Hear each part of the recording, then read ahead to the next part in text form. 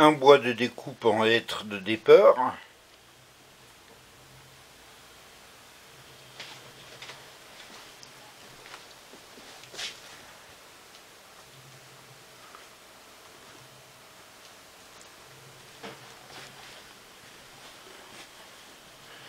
qui servira à façonner un objet similaire à celui-là?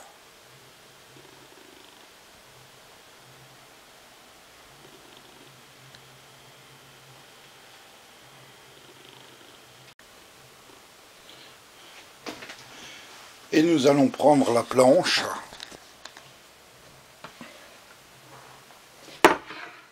pour la poser, voir les détails.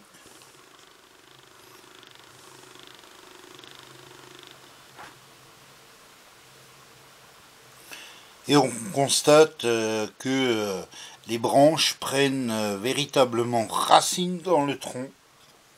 Ce quand on ponce bien le bois. Et c'est ce qui rend un peu jolie cette planche.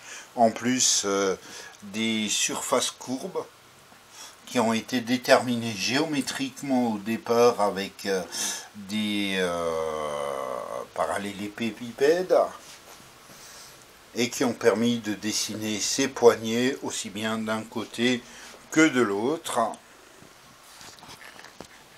Et elle est lisse des deux côtés de la même manière car le bois a été poncé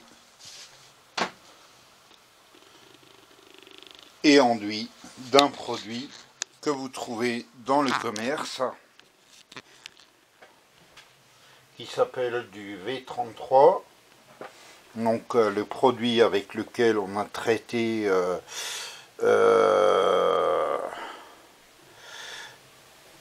c'est le voilà pour respecter la teinte naturelle du bois.